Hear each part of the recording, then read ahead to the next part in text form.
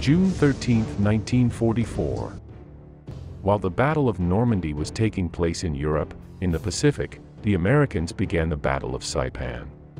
In this confrontation, the Japanese were going to have practically 100% casualties, defending the last island they could lose, before the Americans could bomb Tokyo with the bombers that would leave from said island. So, what we are going to see next, became one of the fiercest battles on the Pacific front, being the prelude to what would come later on Iwo Jima or Okinawa. To put ourselves in a situation, we have to go back to the summer of 1942, in which, after the Japanese defeat at Midway, the Japanese Empire definitively lost the initiative in the war, and it would be the United States that went on the offensive. One of the first places where they began to gain ground was in the so-called Solomon Islands, which are located northeast of Australia. By the beginning of 1944, both the Solomon Islands and the Gilbert Islands were already in American hands, and their advance was expected to be unstoppable. Little by little, during the first months of 1944, Japan was losing more archipelagos such as the Marshall Islands, and the Americans slipped into the heart of the island empire that Japan controlled. This meant great chaos for the Japanese who had small garrisons on thousands of islands, making it impossible to supply them all. In addition, the United States Army was not going to spend time and resources to assault all of them, since occupying the most important ones was more than enough, so hundreds of them were completely isolated as the Americans advanced. Saipan Island is located about 1,400 kilometers south of Tokyo, right in the middle of the Mariana Islands archipelago. This was the island of the archipelago that is located further north, where an airfield could be built from which to bomb Japan. So if Saipan fell, Tokyo and other major Japanese cities would be exposed to continued air raids. To prevent its fall, the Japanese had 31,000 soldiers inside Saipan, who, together with its civilian population, had been digging all kinds of bunkers and trenches throughout the island for months. In addition, there were about 44 Japanese tanks of the 95 Ha-Go type concentrated in it, which, although they were much inferior to the American Shermans, stood up to the end. The main Japanese commander in charge of the defense of Saipan was Lieutenant General Saito, who, as we are going to see, would not survive this fierce battle. On the other hand, on the attacking side, were the 5th U.S. Amphibious Corps that had some 70,000 soldiers, specifically the 2nd and 4th Divisions of the Marine Infantry who would land on Saipan. Admiral Richmond Turner and General Holland Smith were in command of this operation, with which the island was to be conquered, which in total was 24 kilometers long by 6 kilometers wide. On June 13, the U.S. Navy began a heavy bombardment against the island, firing a total of 40,000 projectiles of all kinds, among which some 2,400 of more than 400 mm caliber stand out. To this initial naval attack force, a second was added over the next few days, which completely devastated the island. It was clear to the Japanese commanders that the next step their enemy was going to take would be to land on Saipan with their ground troops. So, in an attempt to demoralize them, they began radioing messages to them saying they knew they were coming and were waiting for them. The landing finally took place on the morning of June 15, when 300 boats with 8,000 soldiers headed for the island. After a little deception, in which the Americans led the Japanese to believe that they were going to land most of their troops in the northwest of the island, they finally ended up doing so much further south. This caused the Japanese to send many units to the north, leaving the southwest coast less protected. The Americans landed relatively easily and without much opposition, and it was once when they had already started to advance up the beach that the Japanese opened fire with everything they had. It was at this moment that a fierce combat began, wreaking havoc among the Americans who could no longer count on the support of their naval artillery, since they were not going to fire at the Japanese defenders who were so close to them. What is certain is that the situation became so critical that Admiral Turner was about to cancel the attack and withdraw the landed troops to the ships, but finally decided to continue sending reinforcements and the battle continued. After 12 hours of intense combat, some 20,000 US troops had landed on Saipan, gradually tipping the balance in their favor.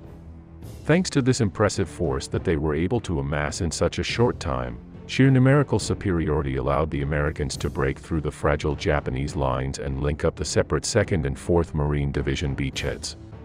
This posed a great threat to the island's defense, as the Americans now threatened to cut Saipan to the south and quickly seize the Japanese airfield. So, and since the Japanese could not afford something like this, before dawn more than 2,000 Japanese soldiers launched two desperate suicide counterattacks against this American beachhead. These attacks ended in slaughter, as Marines supported by Sherman tanks, who had been landing all day, completely slaughtered them, killing some 700 Japanese fighters on the spot. Although the American soldiers had been surprised by this near-suicidal attack, what happened the next day was even worse. As the 4th Marine Division pushed inland, the Japanese Lieutenant General Saito massed all his tanks and hurled them at the Americans in a desperate attempt to slow his advance. Shortly before, he had had a phone call with Emperor Hirohito who had demanded that he not lose the island, as it would be the beginning of a real hell in Japan with the massive bombings that were coming. This Japanese armored attack was once again repulsed since with only a 37mm cannon they could do nothing against the American Shermans. This made the situation for the Japanese very complicated, and by June 18th they had to abandon the airfield that was already impossible to defend. Furthermore, they risked being encircled if the Marines cut off the island in the south. From now on, a new phase of fighting would begin in which the Americans would have to gradually enter the interior of the island, in which there were jungle and mountain areas. What was clear was that with the airfield in American hands and with a portion of the island under their control, it was only a matter of time before Saito was defeated. The Japanese High Command knew that the loss of Saipan was a turning point, so they could not afford to lose it. Thus, they sent a powerful fleet to support the defense that would lead to the so-called Battle of the Philippine Sea. If they achieved a victory, they could move the American fleet away from the Mariana Islands and thereby defend the entire archipelago in which Saipan was located. This naval battle that we will analyze in depth in another program, took place on June 19th and 20th, and ended with another harsh Japanese defeat. In total, they lost three aircraft carriers and 650 aircraft that they could never recover. This meant that the Japanese positions on Saipan could not be reinforced and that their soldiers were destined for annihilation. Returning to the situation inside the island, we have to indicate that it was critical for the Japanese. Barely out of supplies or ammunition, they were being bombarded by both naval and land artillery, and by U.S. aircraft, which repeatedly pounded their defenses in central and northern Saipan. Thus, on the 23rd and 24th, the U.S. troops continued their offensive towards the north of the island, at a slow but constant pace. This was a combat that was practically fought in hand-to-hand -hand due to the fact that the Japanese were hiding in all kinds of caves and makeshift trenches, in which the number of casualties was overwhelming. Basically, the Americans tried to take Japanese defensive positions, while the Japanese soldiers resisted and after the fighting stopped, they tried to launch their counterattacks. This process was repeated over and over again until the Japanese ran out of troops, ammunition, or food to continue fighting. Due to weakening Japanese resistance, by early July the Americans accelerated their pace of advance, and Lieutenant General Saito knew that his end was near. On July 7, when Saito was fully aware that all was lost, he ordered one last great banzai charge, so that the honor of his soldiers would remain intact despite defeat. The result of that bloody episode that ended in a new Japanese defeat was more than 4,000 dead Japanese and some 1,000 casualties for the American side. As a curiosity, this was the banzai load with the most deaths of the entire Second World War. Furthermore, while this was taking place, Lieutenant General Saito committed suicide along with his senior officers and ordered his mortal remains to be burned and destroyed. After this failed attack, on July 9, the Americans already controlled 90% of the island, leaving them only the northern area of Saipan where the Japanese urban center was concentrated. The image that the US troops found there was horrifying, as some 7,000 Japanese civilians had taken their lives. Many of them did it by jumping off a cliff into the void. This was one of the bloodiest battles in the Pacific, which ended with some 30,000 casualties for the Japanese side between military and civilians and 16,500 for the Americans. Thus, it was one of the first warnings that the US commanders received of what was to come. In the future, the battles of Iwo Jima and Okinawa would take place, which would be even worse. The most important consequences of this defeat for Japan were the dismissal of its Prime Minister Tojo, and the United States' acquisition of an island from which its bombers would be within reach of Japan. February 19, 1945. The Battle of Iwo Jima, being one of the bloodiest of World War II in the Pacific, has begun. In this confrontation there will be a very important element, which will mark the rest of the battles that still remain to be fought between Japan and the United States. Basically from this point on, the Japanese commanders have understood that victory will no longer be possible, and their strategy is going to be to inflict as many casualties as possible on the US Army during the battle for the island. The military situation for Japan at the time this battle began was as follows. Since the end of 1943, Japan had been gradually losing islands in the South Pacific, in a process that only accelerated irremediably. After losing archipelagos such as the Gilbert Islands, the Marshall Islands or the Solomon Islands, in mid-1944 the Japanese lost the important island of Saipan. If you remember the program that we recently uploaded about this battle, the loss of this island meant that for the first time, American bombers were able to bomb Japan from the Saipan airfields. Thus, the next step towards Japan was through Iwo Jima, which would end up giving it control of the sector of the Pacific Ocean that is to the south of the island of Japan.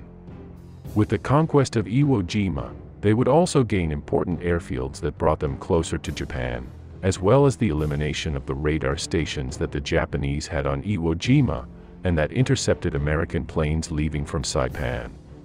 To carry out this operation to conquer Iwo Jima, U.S. Admiral Nimitz once again had the 5th Amphibious Corps, with which he had also fought on Saipan a few months earlier. In total, it had some 110,000 troops, its ground assault force being the 3rd, 4th, and 5th Marine Divisions. On the other hand, General Kuribayashi had some 21,000 troops under his command, with the 109th Infantry Division being his main unit. Although the number of soldiers on each side is quite unbalanced, with respect to the Navy or aviation, the difference is even greater, since while the Americans had several hundred ships and planes, the Japanese had practically none. The only thing they had in their favor was that they had been preparing the defense of the island since mid-1944, building all kinds of tunnels and fortifications. As we have previously commented, the Japanese General Kuribayashi knew that in the face of such a disparity of forces, the American victory was inevitable. So he prepared to make his victory as costly as possible in human lives. Shortly before the battle Kuribayashi declared the following, we are here to defend this island to the limit of our strength. If our positions are overrun we will take bombs and grenades, and throw ourselves under the tanks to destroy our enemy. Long live the Emperor! Well, once the context has been seen, let's go to the development of the battle.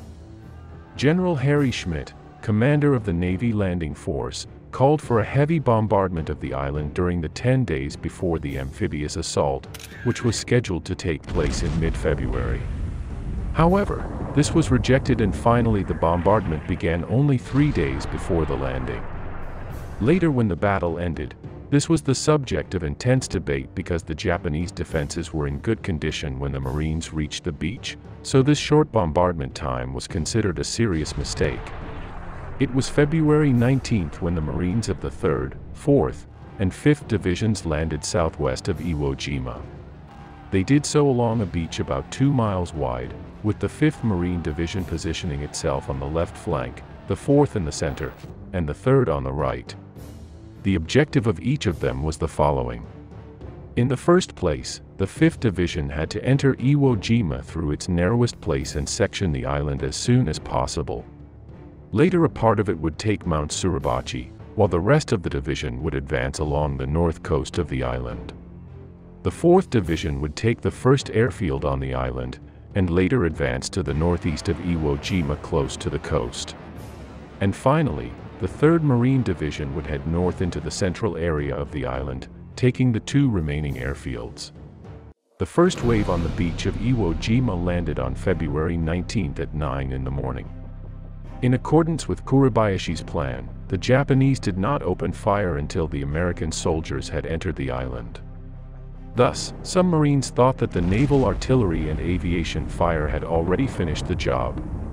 Continuing with the operation, and in the face of the disbelief of the U.S. commanders, the disembarkation of troops and material continued as quickly as possible.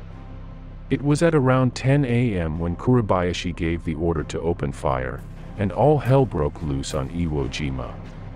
From that moment and for several hours, there was a real bloodbath on the American side. Deprived of their naval artillery support, due to being hand-to-hand -hand with the Japanese, the Marines had to fight their way through themselves, and using their explosive charges and flamethrowers they were able to begin to overcome the first Japanese defensive line at 11.30 in the morning. Despite the trap that the Japanese had prepared for them, at the end of that day, the island could be sectioned in two at its narrowest end, and half of the first airfield already fell into American hands. The worst part of all was taken by the men who landed on the right flank of the beach, specifically the 3rd Battalion of the 25th Infantry Regiment that belonged to the 4th Marine Division. And it is that to give us an idea, at the end of that first day, of the 900 men that said battalion had landed on Iwo Jima, 750 had lost their lives. One of the American commanders said, I don't know who he is, but the Japanese general leading this defense is a smart bastard. Once night fell, the Marines expected the usual Japanese banzai charge, and they prepared for it. This had been the standard Japanese strategy in previous battles against enemy ground forces in the Pacific, as they did during the Battle of Saipan, or on any other island before it. In those attacks, for which the Marines were prepared, most of the Japanese attackers had been killed and the Japanese force had been greatly reduced. However, General Kuribayashi had strictly prohibited these banzai attacks by Japanese foot soldiers, as he considered them useless.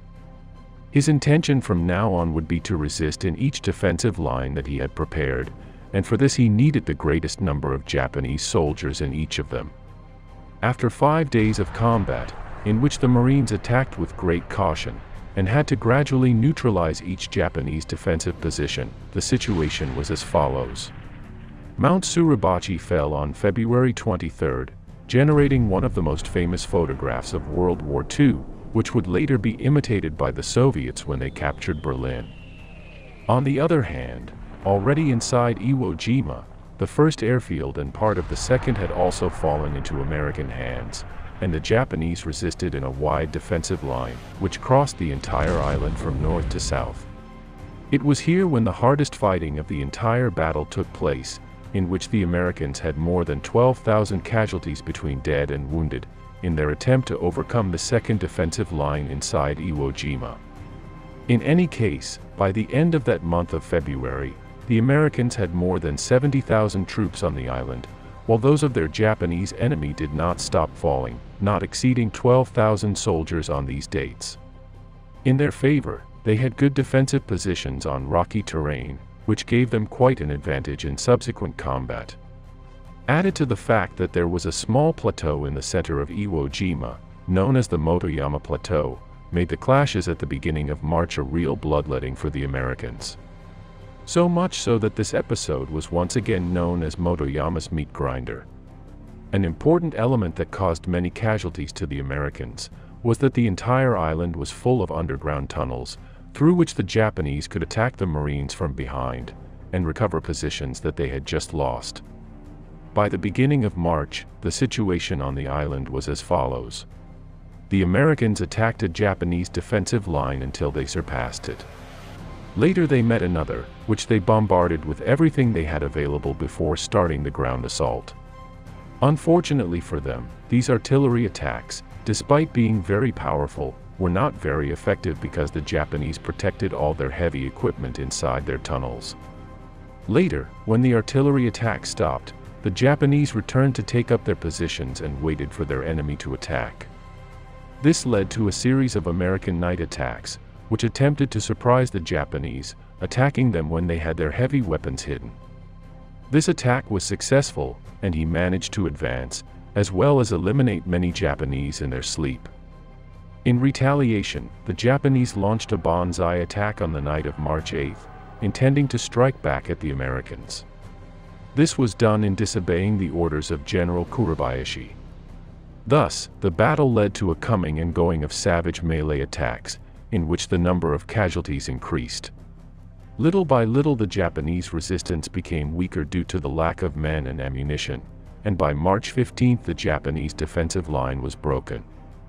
A few days later, on March 18, Kuribayashi's depleted forces were divided in two in the northeast and southeast of the island, unable to do anything but wait for the bitter end to come.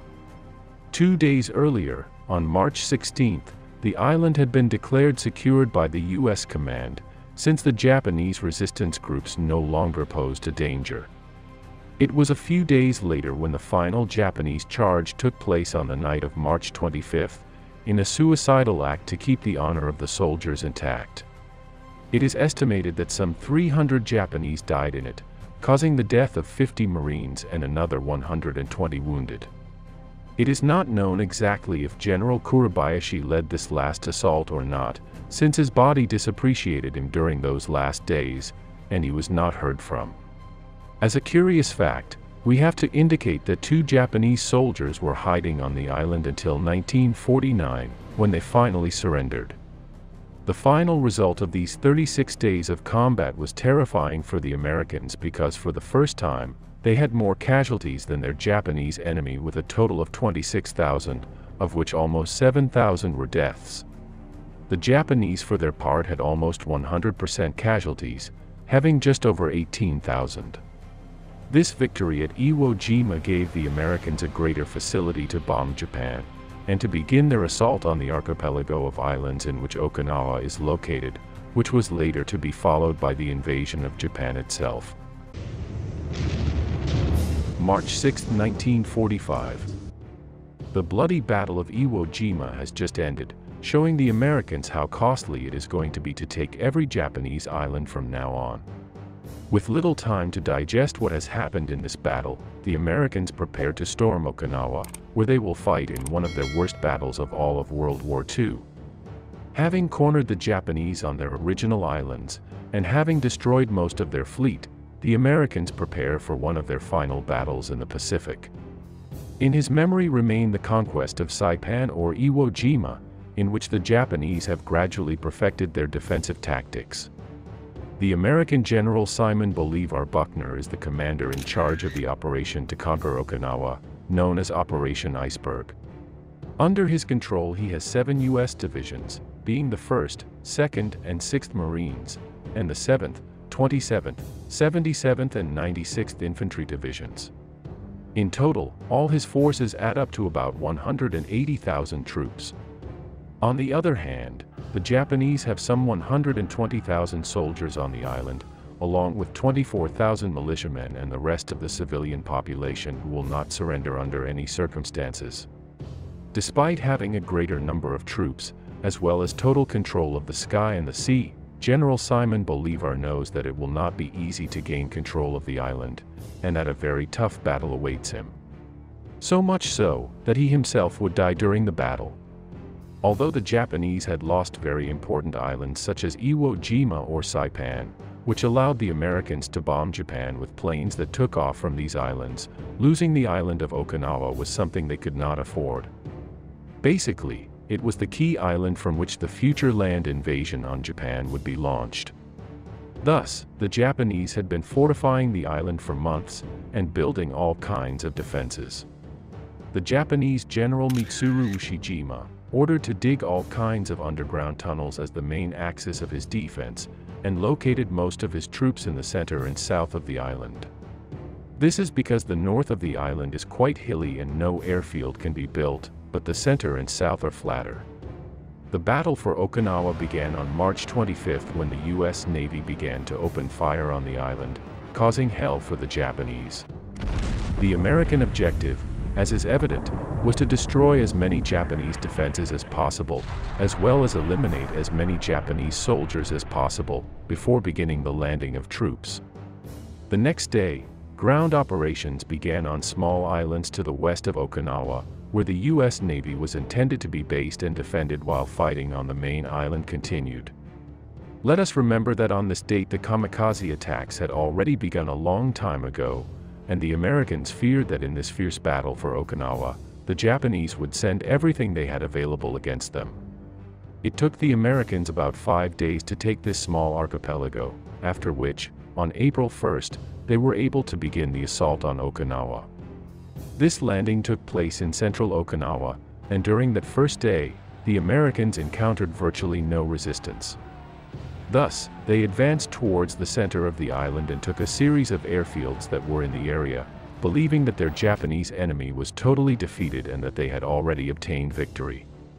60,000 men managed to disembark during that first day without any kind of difficulty, being able to cut the island in those first days. The American general did not expect this success to come so quickly, and he gave orders to launch the second phase of the operation, which consisted of conquering the south and north of the island. The mission to attack the north fell to the 6th Marine Division, which was able to make its way through that mountainous area, and was able to reach the northern tip of Okinawa on April 13th. Although later there was an attack by Japanese soldiers who had been isolated in the area, the Americans took effective control of the northern part of the island in the first two weeks of combat.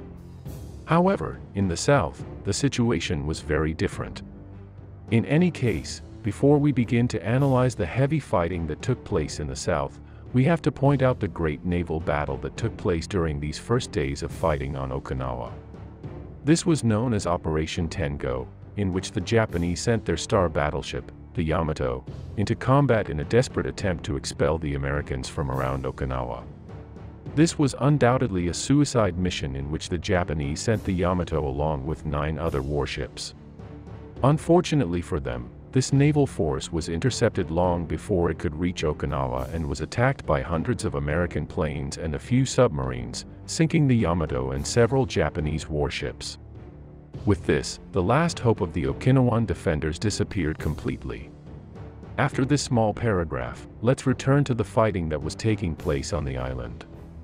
Late in that first week of April, the U.S. 7th and 96th Infantry Divisions began their attack in a southerly direction, now encountering strong Japanese defenses. After heavy fighting, the Americans were able to advance a few kilometers and overcome this first defensive ring, but they suffered some 1,500 casualties in just a couple of days of combat. It was at this moment that they realized the difficult task ahead of them. Little by little the days went by, and the American soldiers found themselves involved in a multitude of ambushes and traps that the Japanese had prepared. After months of preparation, the Japanese had created killing zones in which the Americans suffered thousands of casualties. The only thing the American side had going for it was that it could bombard these Japanese defenses with its naval artillery, but since the Japanese were well entrenched in underground caves, this bombardment did not have the desired effect. Thus, the flamethrower became another good ally of the US troops.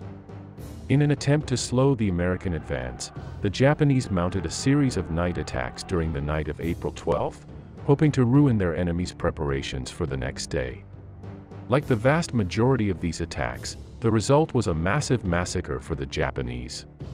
On April 19, the American assault continued and they again attacked the Japanese positions. The island's barely 6 kilometers wide makes it a real bottleneck for the attacking troops who are forced to attack head-on over and over again.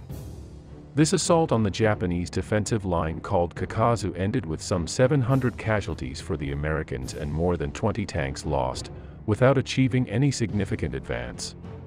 Because they could not outflank them in any way, the only thing the Americans could do was make the Japanese believe that they were going to land south of the island, with the objective that the Japanese kept a large number of their troops to the south, and did not send them to the north. Thus, the U.S. attack continued until the end of April, being able to advance little by little towards the south of the island. Faced with this situation, the Japanese General Mitsuru organized a series of counterattacks, in which he even considered disembarking behind the American lines. For this, he intended to use the few naval means and artillery that he had at his disposal. Ultimately, the Japanese general's plan failed. Because the Americans continued advancing south, Mitsuru had no choice but to send most of his troops north, because as his enemy advanced, the island widened more. The result of this movement was intense battles during the first weeks of May in which both sides suffered thousands of casualties. However, while the Americans could afford them, this was not the case for the Japanese who had no chance of receiving reinforcements or supplies, so their fighting capacity was reduced by the day. To aggravate the situation, on May 11th, the Japanese carried out a large kamikaze attack against the U.S. fleet that surrounded Okinawa, damaging numerous ships including the famous Enterprise aircraft carrier, that he had to withdraw from there due to the damage caused by the Japanese planes. At the end of that month of May, the situation on the island continued to get complicated due to the heavy monsoon rains, which turned the disputed hills and roads into a large swamp that made all fighting difficult. The land advance began to resemble a World War I battlefield, as troops became bogged down in mud and flooded roads prevented progress and largely the evacuation of wounded to the rear. The troops lived in a rain-soaked field, part garbage dump and part graveyard, with bodies left to die in every corner. Despite everything, on May 27 the city of Naha, which was the largest on the island, fell into American hands. Although they expected stiff resistance and a large civilian presence, the U.S. troops found the city virtually deserted. For those dates, the situation for the Japanese was desperate, and they had begun a retreat to the south of the island, with the sole objective of resisting as long as possible. The bloodiest battles in Okinawa were about to arrive. By the beginning of June, the Japanese forces were divided into two, positioning themselves to the south and southeast of the island. This isolated southeastern redoubt came under both land and amphibious attack by the 6th Marine Division, which was able to annihilate the Japanese defenders by mid-June. It should be noted that it was at this time that the many Japanese began to commit suicide inside their tunnels because they considered that all was lost. A few days later, the American General Simon Bolivar himself died while he was in an outpost supervising the advance of his troops, as a result of a Japanese artillery attack with the objective of finishing eliminating the Japanese resistance that still remained to the south of the island, the Americans began a last operation on June 23 that took them a week to conclude, ending the Battle of Okinawa. After counting the casualties, the Americans saw that this was their bloodiest battle to date on the Pacific Front, with a total of 80,000 casualties between dead, wounded, and soldiers who went mad. Additionally, they lost almost 800 aircraft, along with 36 ships being sunk and another 300 being damaged. The Japanese for their part suffered some 110,000 military casualties, along with another 100,000 civilians. To this, we must also count the casualties of the naval combats in which we can include the Yamato. On the other hand, the consequences of this battle are very important. First, it made it clear to the Americans how expensive a complete invasion of Japan would be for them, since they would undoubtedly have to assume hundreds of thousands of casualties. Thus, many justify the launch of the atomic bomb as a consequence of the large number of casualties in this battle, although I personally lean more towards the position that the bombs were dropped mainly as a warning to the Soviet Union. In any case, it is clear that everything adds up. But what do you think? What do you think of these desperate battles that caused hundreds of thousands of casualties, when Japan had not had any chance of winning the war for a long time. Do you think that this massacre in Okinawa was the reason for the drop of the two atomic bombs that were dropped on Hiroshima and Nagasaki two months later? We recently uploaded a program analyzing another of the fiercest battles in the Pacific, this being Saipan, which I leave in the description in case you haven't seen it yet. Without a doubt, it was there that there was a before and after in the way of defending the islands. And so far this today's program, which I hope you have found interesting. Thank you all for being part of this community, and especially the sponsors who make this possible. Subscribe and share this program if you liked it, and we'll see each other here as always, next Thursday and Sunday. See you soon.